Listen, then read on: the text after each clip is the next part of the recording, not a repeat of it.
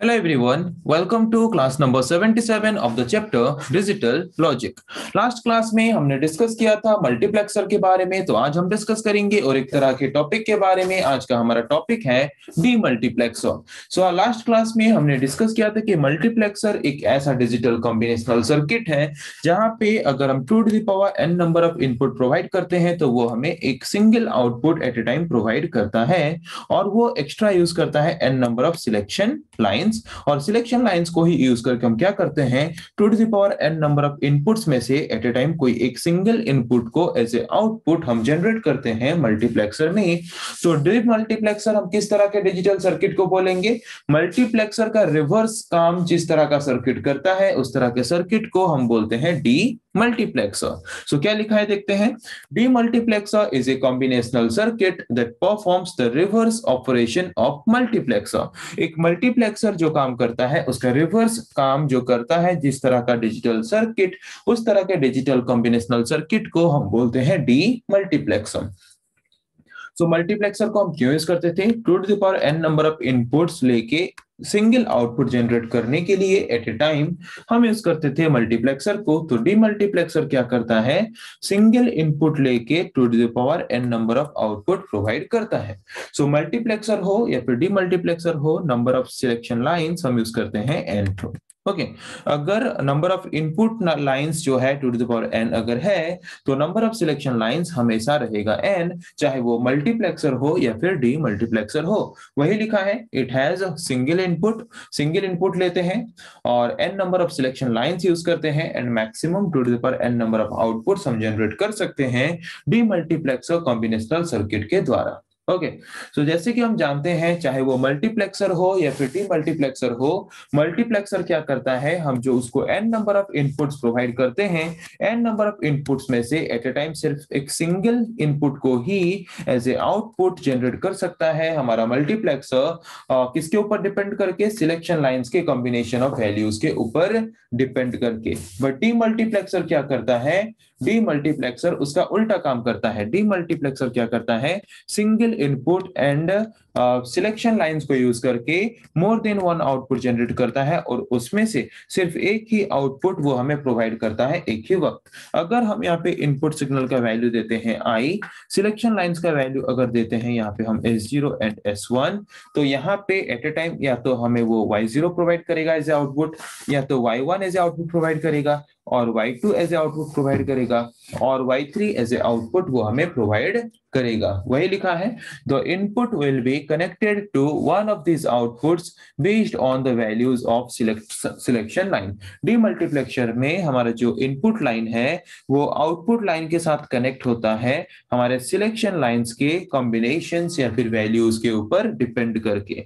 अगर हमारा selection lines का वैल्यू ज़ीरो ज़ीरो है तो वो कनेक्ट होगा वाई ज़ीरो के साथ। अगर हमारा सिलेक्शन लाइंस का कॉम्बिनेशन ज़ीरो वन है तो उसको वो कनेक्ट करेगा वाई वन के साथ। अगर हमारा सिलेक्शन लाइंस का कॉम्बिनेशन वन ज़ीरो है, उसको हम कनेक्ट करेंगे वाई टू के साथ। अगर हमारा सिलेक्शन लाइंस का वैल्यू वन वन है तो उसको वो कनेक्ट करेगा वाई थ्री के साथ। Okay so each combination can select only one output हर एक कॉम्बिनेशन हमारा सिलेक्शन लाइन का सिर्फ़ एक ही आउटपुट एक वक्त में जनरेट करता है। ओके सो डी मल्टीप्लेक्सर को हम शॉर्टकट में या फिर एवरेशन फॉर्म में डीमक्स भी बोलते हैं, जैसे कि मल्टीप्लेक्सर को हम मक्स बोल के बोल सकते हैं। तो यहाँ पे एक एग्जांपल लेते हैं, जैसे कि मल्टीप्लेक्सर में हमने एग्जांपल लिया था फोर इंटू वन या फिर फोर टू वन मल्टीप्लेक्सर का, जहाँ पे अगर हम फोर टू इनपुट लेते थे तो वो हमें सिंगल आउटपुट प्रोवाइड करता था। बट डी मल्टीप्लेक्सर उसका उल्टा होता है, अगर हम सिंगल इनपुट प्रोवाइड करते हैं तो वो हमें चार टू आउटपुट प्रोवाइड करेगा। Okay so one to four demultiplexer में हम सिंगल इनपुट यूज़ करते हैं। उसके साथ हम सिलेक्शन लाइन यूज़ करते हैं, दो टो अगर दो टू सिलेक्शन लाइंस यूज़ करते हैं मतलब एन इक्वल्स टू क्या है? Two so possible number of outputs कितना होना चाहिए? Two to the power n means two to the power two means two to the power two equals to कितना? Four अगर हम सिंगल इनपुट प्रोवाइड करते हैं एंड दो टू सिलेक्शन लाइंस प्रोवाइड करते हैं तो वहाँ पे पॉसिबल नंबर ऑफ़ आउटपुट्स जो है, वो कितने होंगे? चार टू होंगे। Means Y zero Y one Y two and Y three तो यहाँ पे ब्लॉक डायग्राम है डीमल्टीप्लेक्सर का, जहाँ पे हमने सिंगल इनपुट प्रोवाइड किया है सिलेक्शन लाइंस प्रोवाइड किया है और जो कि हमें प्रोवाइड करता है two the power n number of output okay तो अगर इसका ट्रुथ टेबल ड्रॉ करें तो कैसे होगा? हम यहाँ पे जो मल्टीप्लेक्सर है या फिर डी मल्टीप्लेक्सर है, वहाँ पे हम इनपुट सिग्नल्स को सिर्फ़ यूज़ करते हैं आउटपुट में रिप्रेजेंट करने के लिए बट अभी कौन सा इनपुट को हम कहाँ पे एज आउटपुट जनरेट करेंगे, वो डिपेंड करता है किसके ऊपर? सिलेक्शन लाइंस के ऊपर। मतलब multiplexer and demultiplexer both are completely depends upon the selection lines okay so selection lines का पॉसिबल नंबर ऑफ़ जबकि हम दो टू सिलेक्शन लाइन यूज़ किए हैं तो पॉसिबल नंबर ऑफ़ कॉम्बिनेशन हो सकता है चार। अगर हम दोनों सिलेक्शन लाइन्स का वैल्यू लेते हैं ज़ीरो ज़ीरो तो वहाँ पे वाई ज़ीरो का वैल्यू होगा आई मतलब हमारा जो इनपुट लाइन है वो एज ए आउटपुट कहाँ पे दिखाएगा? वाई ज़ीरो में दिखाएगा। अगर हम S one and S zero का कॉम्बिनेशन लेते हैं ज़ीरो वन मतलब इसका डेसिमल वैल्यू है वन तो वाई वन में हमारा आउटपुट दिखाएगा आई अगर हम S one and S zero का वैल्यू लेते हैं वन ज़ीरो मतलब इसका डेसिमल वैल्यू है टू सो वाई टू में हमारा आउटपुट दिखाएगा आई अगर हम S one and S zero दोनों का वैल्यू लेते हैं वन मतलब इसका डेसिमल वैल्यू है थ्री सो वाई थ्री में हमारा आउटपुट दिखाएगा आई ओके तो यहाँ पे हम इक्वेशन फाइंड करेंगे फ़र्स्ट वाई ज़ीरो के लिए, फिर वाई वन के लिए, फिर वाई टू के लिए, फिर वाई थ्री के लिए, कि अगर हमारा आउटपुट जो है, वो अगर वाई ज़ीरो में जनरेट होता है तो उसके लिए बुलियन एक्सप्रेशन क्या होगा? अगर हमारा आउटपुट वाई वन में जनरेट होता है, उसके लिए बुलियन एक्सप्रेशन क्या होगा? अगर हमारा आउटपुट वाई टू या फिर वाई थ्री में जनरेट होता है, उसके लिए बुलियन एक्सप्रेशन क्या होगा? उसी को अभी हम रिप्रेजेंट करेंगे। ओके सो वाई ज़ीरो में अगर हमारा आउटपुट आई आता है तो उस वक्त हमारा बुलियन एक्सप्रेशन क्या होगा? एस वन का वैल्यू ज़ीरो है मतलब S one complement S zero का वैल्यू ज़ीरो है mean S zero complement and हमारा जो इनपुट सिग्नल है, वो है I so first equation is S Y zero के लिए इक्वेशन हमारा क्या है? वाई ज़ीरो के लिए इक्वेशन है S one dash S zero dash and I वही निकला? S one dash S zero dash I then हम इक्वेशन फाइंड करेंगे वाई वन के लिए. ओके okay, तो y1 का वैल्यू जब i है तो उसके लिए बुलियन एक्सप्रेशन क्या होगा? Y1 के लिए।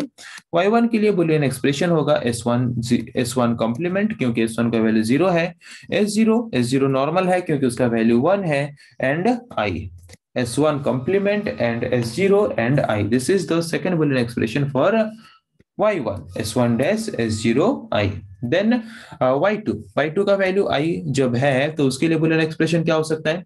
एस वन का वैल्यू वन है mean S one S zero का वैल्यू ज़ीरो है means S zero complement and the input signal is I S one S zero dash I Y two equals to S one S zero dash I वैसे ही Y three का भी find कर सकते हैं। Y three का value जब one है, तब एस वन का वैल्यू भी वन है। मतलब एस वन एस ज़ीरो का वैल्यू भी वन है। S zero then I input signal S one S zero I so Y three का वैल्यू हमें मिला S one S0 I. So these are the possible number of four output what we can generate by using demultiplexer combinational digital circuit. Okay okay.